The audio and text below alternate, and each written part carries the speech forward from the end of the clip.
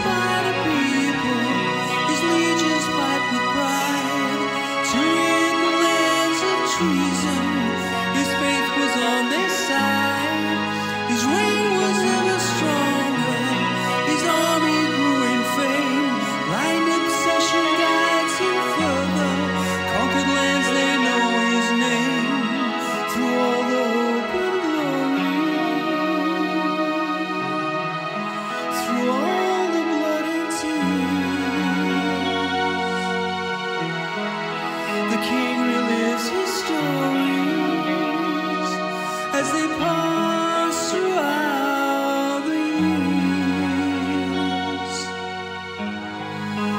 used to speak